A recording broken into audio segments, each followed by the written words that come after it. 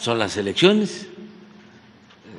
Este, a partir del miércoles de la semana próxima, a las 12 de la noche, ya se termina el proceso de campaña. Eh,